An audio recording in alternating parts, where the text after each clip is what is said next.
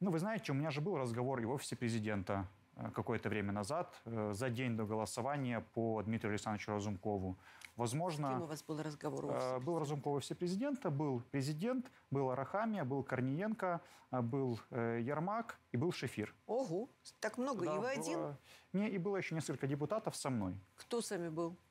А, со мной было несколько депутатов, точно я уже и не вспомню всех. Ну, прекратите, все ну, я честно, ну не отлично. помню, честно. Ну вы же не пенсионер, чтобы у вас были провалы в памяти. Я думаю, а, не каждый день вы ходите в офис президента.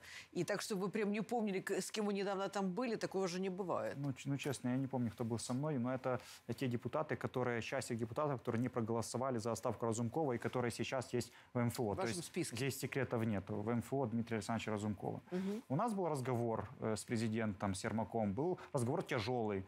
У него было много вопросов ко мне, у меня было много вопросов к президенту. Говорил в основном Ер, Ермак, да? Что нет, говорил он президент? Нет, президент. Ермак, Ермак э, со мной разговаривал только один раз, когда я упомянул историю, которая была в Одессе, когда оказался действующий мэр Труханов ближе к президенту угу. и друг президента, чем оказывается его люди с партии «Слуга народа». Там была особенная ситуация, я не рассказал, и вот за нее был ответственный Ермак, он ответил. Все остальное время мы разговаривали с президентом.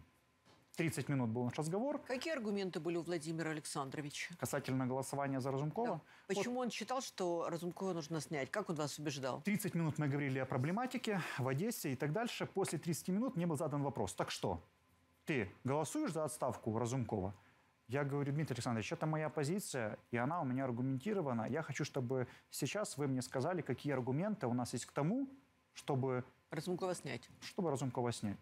На что было сказано, это командное решение, и мы должны сейчас принять его как единая команда и отстранить Разумкова от команды. На что я сказал, что это неправильно. Я считаю, что должны быть конкретные аргументы. Значит, он что-то не сделал, что-то не выполнил, как-то подвел команду, изменил правилам, принципам, э, обидел кого-то, да, подвел команду, в конце концов, вот что это почувствовали люди, что это сыграло роль вот глобально. Этого не было. Это просто решение команды маленькой командой, которая хочет ретранслировать это на весь парламент.